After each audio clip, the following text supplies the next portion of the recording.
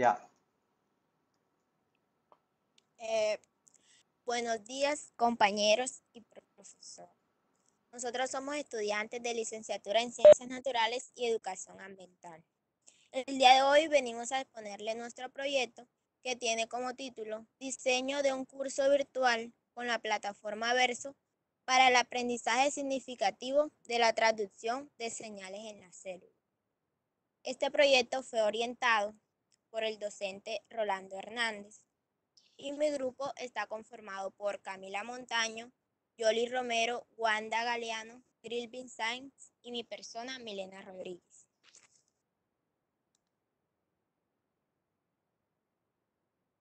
Un entorno virtual de aprendizaje. Es un entorno virtual alojado en la web, conformado con un conjunto de herramientas que combina diferentes recursos educativos y espacios de interacción, lo cual permite dinámicas de enseñanza y aprendizaje. En un curso virtual de aprendizaje se hace uso de las herramientas tecnológicas, ya sea como apoyo en las clases presenciales o en la web. Es un proceso organizado en diversas fases para lograr un adecuado proyecto educativo. La educación virtual se desarrolla, se desarrolla con diferentes herramientas metodológicas de aprendizaje, utilizando los recursos accesibles en Internet.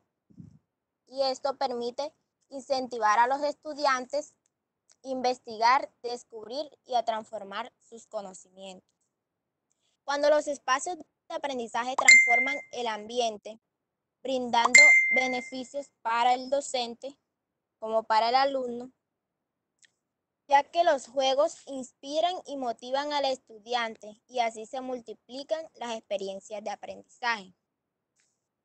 Eh, pues teniendo en cuenta que las estrategias didácticas y las herramientas para la creación de contenidos educativos son elementos claves para la enseñanza virtual y teniendo en cuenta que facilitan el proceso de enseñanza y aprendizaje, nosotros hoy hemos propuesto algunas de estas herramientas en el desarrollo de nuestra clase para favorecer tanto al docente como al estudiante, eh, ya que se busca que el estudiante desarrolle sus conocimientos y juegue un papel más activo y desarrolle sus habilidades y el docente actuando como facilitador.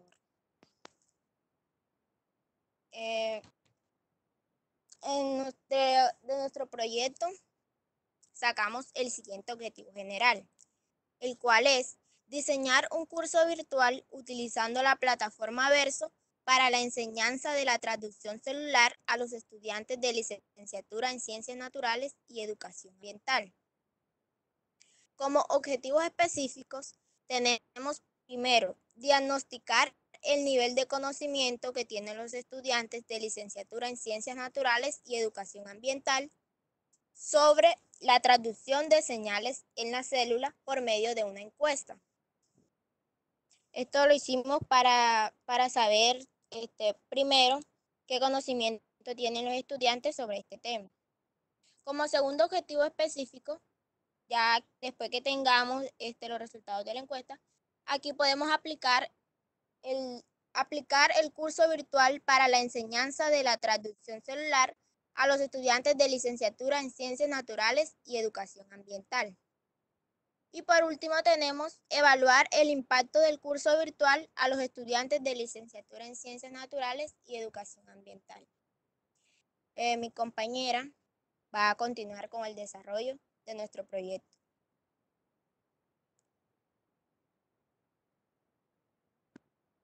Este, yo les voy a hablar sobre el desarrollo del proyecto que realizamos. Este, este proyecto fue de mucha habilidad, ya que se hizo uso la plataforma actual que estamos mostrando en pantalla, que se llama la plataforma Verso. Esta plataforma este, nos permite o permite crear tu propio curso virtual de cualquier tema de, nuestro interés. Este, para comenzar a interactuar con la plataforma o para poder conocerla, lo primero que se debe hacer es registrarse para crear su propio usuario, ya sea utilizando una cuenta, de Google, de Google o es este, una cuenta de Google o de Microsoft. Este, la plataforma eh, tiene muchas formas de acceder o se puede acceder de dos maneras, este, como docente y como estudiante, como pudieron observar a la vez de la primera vez que pudieron entrar. Este, si la persona accede como estudiante, podrá acceder a los cursos virtuales que otros usuarios hayan creado. Lo único que se necesita para hacer un curso virtual eh, creado en esta plataforma es ingresar en la barra de búsqueda el código del curso al que desea entrar. Eh, por otra parte, por lo siguiente, si la persona accede como docente, podrá crear su propia clase virtual, en la que podrá crear actividades y subir contenido sobre cualquier tema que quiera enseñar o este, subir contenidos como videos, imágenes, audio, documentos de Drive o de Word, etcétera, que ya muchos hemos tenido la facilidad de, poder realizarlo en una plataforma. Esto también es de mucha utilidad y muy fácil de aplicar. Este, cabe destacar que este procedimiento se debe seguir para crear un curso virtual en esta plataforma. Es muy sencillo, como pudimos ver, este, solamente basta con asignarle el tema que quieres enseñar a tu clase. Escoger, escoger, la, escoger la estrategia profesional con la que se quiere trabajar y agregar contenidos que ayuden a cumplir con el objetivo de aprendizaje que uno se ha propuesto.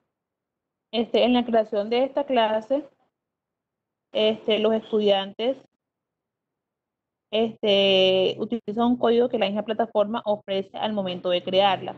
Siguiendo con este orden de ideas, la plataforma este, llamada Verso puede ser de mucha utilidad para los docentes ya que están empezando a familiarizarse con el mundo de las TIC y la nueva tecnología que estamos viviendo hoy en día, ya que todo es, virtual y este, es de mucha utilidad y esta plataforma cabe resaltar que es muy sencilla de utilizar, solamente basta conseguir los pasos. Eh, por la para la creación de nuestro curso virtual en esta plataforma llamada Verso, en el cual se el, tema, como pudimos ver, de traducción de señales en la célula, este, se trató de utilizar contenidos fáciles, claros y muy fáciles de observar, como imágenes, videos y juegos educativos virtuales, con el objetivo de generar un mejor aprendizaje en los alumnos. Este, las actividades asignadas a nuestro curso virtual para que los estudiantes desarrollen así con más facilidad es de gran importancia para entender el tema de traducción de señales en las células, tales como los receptores, ligandos y respuestas este, celulares, entre otros que se incluyen ahí.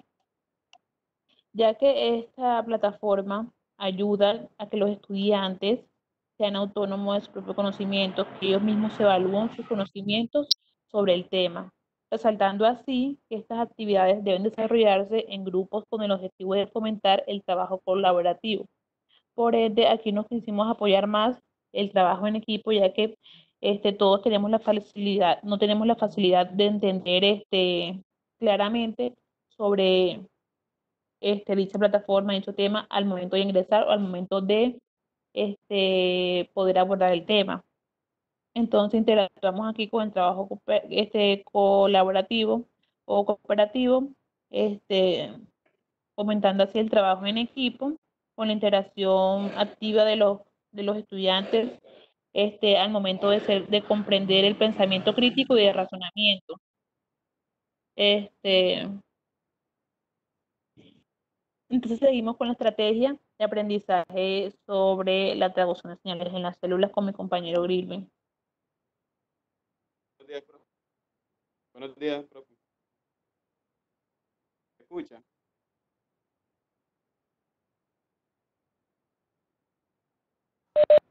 Sí, se escucha. Buenos días. Buenos días. Bueno, profe. Bueno, eh, la estrategia de aprendizaje sobre la traducción celular que creamos nosotros se desarrolló basada en el aprendizaje colaborativo.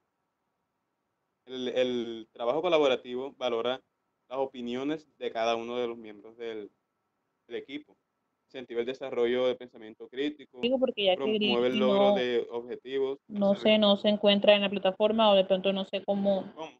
Este, bueno, eh, para la estrategia de aprendizaje sobre la traducción de señales en la célula se desarrolló basada en el aprendizaje colaborativo, como les comenté, el trabajo colaborativo, este, ya que este valora los postulados de cada uno de los miembros del equipo. Incentiva el desarrollo del pensamiento crítico, promoviendo así el logro de objetivos que quieres alcanzar con ese aprendizaje.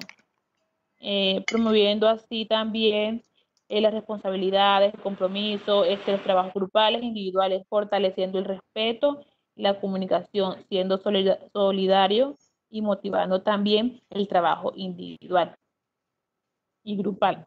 Este, eh, si en las instituciones educativas se logrará lo anterior, los docentes trabajarían con más sagrado, se enamorarían aún más de su profesión, se crearía un clima de trabajo más favorable, existiría un compromiso más real frente a la educación de los estudiantes y se mejoraría de gran manera el proceso de educación. Para hacer nuestro curso virtual, como pudimos ver, este, primero deben abrir la plataforma Verso. Aquí les voy a hacer un paso a paso. Luego deben seleccionar en registrarse como estudiante y luego escribir su dirección de correo electrónico más la contraseña del mismo. Una vez de haber ingresado con su correo electrónico, les aparecerá tres casillas, una para ingresar el primer nombre, otro para ingresar el primer apellido, luego para escribir el código de la clase. Una vez ingresa al curso, se puede ver el título de la clase. Aquí el de nosotros es traducción de señales en las células el código y el nivel y la categoría en la parte superior de la pantalla. Luego deben seleccionar en la parte inferior de la pantalla y abrir la clase de traducción de señales en la célula, clase 1. Una vez hayan abierto la clase, deben leer las instrucciones que allí se muestran y abrir el archivo adjunto que se encuentra justo arriba. Ahí se encuentra el contenido de la clase junto con las actividades a desarrollar. Este, la manera que vamos a evaluar este curso virtual nos dice de muchos de los cursos presenciales, ya que ambos, en ambos casos se debe medir el grado de aprendizaje con conocimientos adquiridos o rendimiento de los estudiantes. Este, para evaluar las actividades, para evaluar las actividades asignadas en nuestro curso virtual, este, cada estudiante deberá realizar una presentación en la que explique paso a paso el mecanismo de traducción de señales en las células. Los estudiantes podrán utilizar recursos tales como diapositivas, mapas conceptuales, infografías o cualquier otro instrumento de ayuda eh, para realizar una mejor presentación de lo que se va a presentar para la redundancia. Eh, las presentaciones se harán mediante videoconferencias utilizando la plataforma Jitsi o Meet.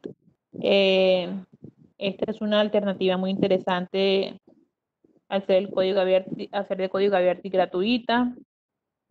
Ya la hemos utilizado en varias clases, en varias en otras materias, este, pudiendo así asistir un número limitado de participantes, por los que puedan soportar la capacidad de su servidor.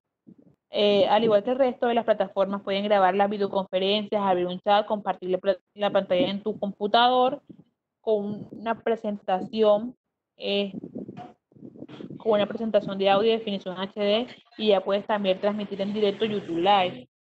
Entonces podemos observar este, las actividades que aparecen, las actividades que aparecen ahí este, en dicha, en dicha este, plataforma Versum. Ahí las podemos ver.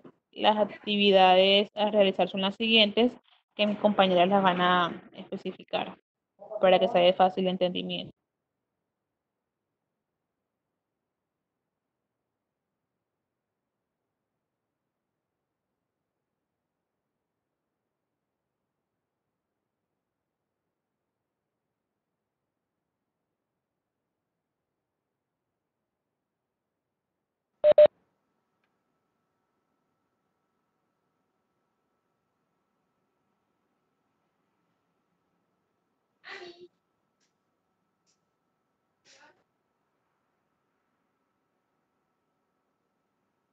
Me aparece con sustentación. Las actividades a realizar este, son de la siguiente manera. Este, en la actividad 1 tenemos este, a qué tipo a qué tipo de señales o estímulos de su medio, de su medio ambiente responden las células. Ahí podemos ver este, que, eh, la, la, pregunta de la actividad número uno y así sucesivamente buscar su, su respuesta. Eh, ¿A qué tipo de moléculas se les considera como ligandos? Ya lo pudimos ver que este, en, la traducción, en la traducción de señales en las células pudimos ver eh, o observar la, a la hora de investigar este, que va incluyendo en ese dicho tema. ¿Qué función cumplen las hormonas en la traducción de señales en la célula? Cite un ejemplo en el que se cumple el mecanismo de traducción de señales en la célula. Y también son una de las rutas principales por las que las señales extracelulares se traducen. Convierte en señales intracelulares. Eh, en actividad 2 tenemos un cuadro de complete que fue realizado para este, escribir su característica, función y estructura de las hormonas polipéptidos, hormonas derivados de aminoácidos y hormonas esteroides. En la, en la actividad 2 hay que completar la tabla este, con los datos que se están pidiendo ahí. En la actividad 3, este, consultar, consultar qué es la proteína y la función que cumple en la traducción de señales en la célula. Eh, en la actividad número 3 también está un cuadro de complete que se hace de más, este, se hace eh, la palabra de más utilidad y más facilidad al completar porque solamente las características que tiene el acetil, los receptores de acetilcolina, los receptores de tirosina sinasa y los receptores de siete hélices. Las características, su función, el papel que cumple en la traducción de las señales en las células, que es el tema que estamos abordando, y la estructura. En la actividad 5 encontramos que, son los primeros y segundos mensajeros que, que, y qué función cumple en cada una de las traducciones de la traducción de señales. Ahí podemos eh, responder con una pregunta abierta, pero ya que, este, que aborde lo que, lo que le están preguntando. En la actividad 6, eh, dice observa el video de traducción celular y responde a las siguientes preguntas. ¿Cuál es la función de la transmisión de señales celulares? ¿Por qué cada proteína receptora tiene un sitio de único específico para su ligando? Cuáles son los receptores asociados de la proteína G y qué papel central desempeñan los iones de calcio en el proceso de activación celular. Y la, por último, ¿qué son las hormonas andrenérgicas. Aquí podemos responder con las preguntas abiertas como están pidiendo en la actividad número 6, solamente su respuesta debido a la, pregunta que se haga. En la actividad 7, el juego virtual que utilizamos, eh, ya conocido, como anteriormente nos lo había este, expuesto el profesor, para realizar una actividad, fue el juego móvil. Este, para acceder al siguiente juego educativo sobre la traducción de señales y resuelva los test que aparecen en este. Ahí podemos observar que se encuentra el tema a abordar, es de tipo test, y está su PIN respectivo para el que pueda acceder. Para acceder al juego debe ingresar primero a la plataforma móvil y digitar en la barra de búsqueda el respectivo PIN. Ahí podemos observar cómo se accede al juego. Entonces mi compañera este, Jolis va a explicar la rúbrica de cómo se va a evaluar ese juego.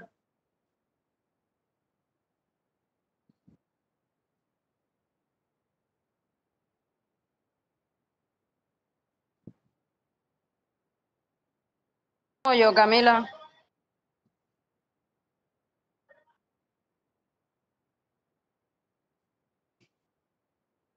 Nada, Grilvin.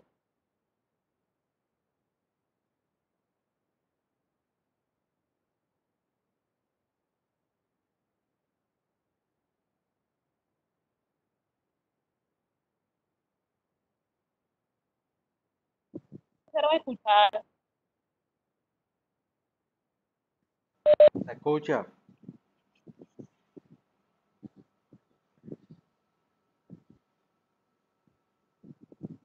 Buenas, profe. ¿Se escucha? Sí, sí, perfectamente. ¿Quién me está hablando? Bueno, ¿Quién? ¿Cómo? ¿Quién me habla? No, porque yo ahorita, yo ahorita estaba hablando y como que usted no me, no me escuchó. No sé. Sí. ¿Cómo? Yo lo que tengo es el micrófono apagado, pero yo los escucho.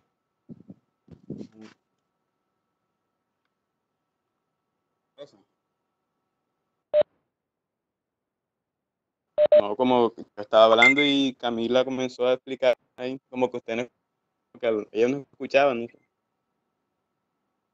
Yo les dije a ustedes que yo no iba a hacer ningún tipo de, de in- intervención en su, en su socia- socialización para no interrumpir. Al final es que yo hago las observaciones. Pero se escucha perfectamente.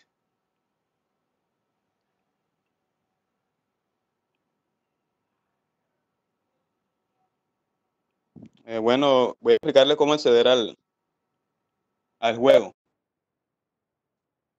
Bueno, primero se debe eh, acceder a la, a la plataforma móvil. Ahí en en la parte superior hay una barra de búsqueda en la que hay que eh, digitar el PIN del juego, del juego que creamos, eh, que creamos nosotros. 3, 33, 28, 3. Luego ahí, de, luego de poner el código, eh, se ingresa al juego.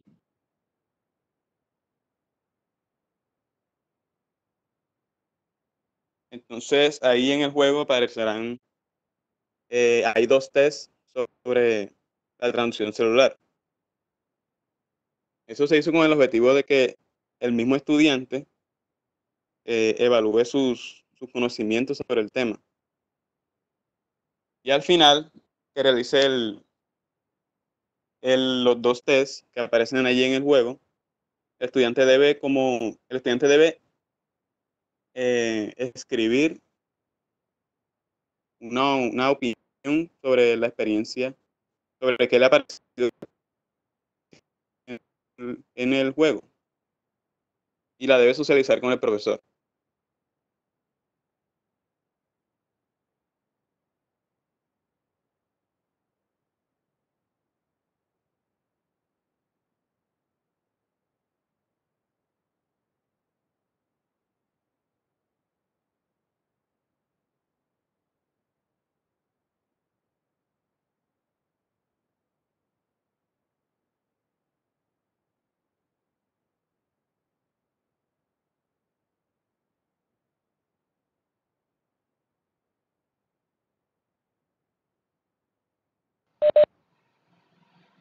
Ahora para, culminar, este, podemos concluir que este proyecto de aula se pudo llevar a cabo gracias a la asesoría y al gran acompañamiento virtual del docente Rolando Hernández Lazo. Este proyecto fue diseñada una clase virtual con las herramientas de Verso, ya que este utensilio eh, ha sido muy útil para la formación del estudiante en una clase virtual, donde ahí se emplearon algunos instrumentos virtuales para facilitar y contribuir a lo que es el proceso de aprendizaje de un estudiante y la virtualidad. En esta clase virtual aplicamos algunas estrategias didácticas como fue el juego virtual que le explicó mi compañero, que se realizó en móvil. Y, es, y está basado en el, en el tema de traducción celular. Este fue con el fin de lograr un desarrollo mayor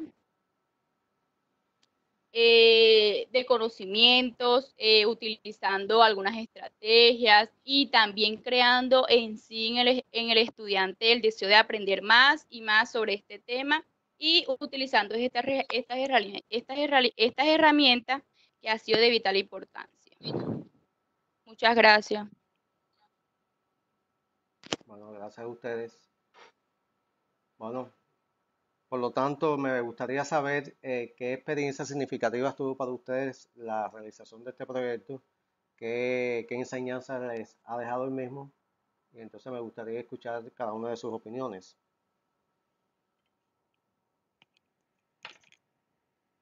profe, este, eh, la enseñanza Bueno, profe, ¿me escuchan? Sí.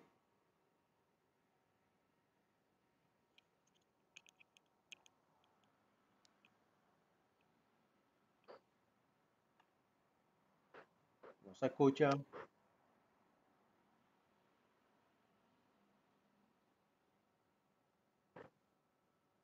Sí Hay problemas con escucha. el internet, no sé, porque es que no se escucha nada de lo que él habla. Por eso es que continuaba este, sustentando el proyecto.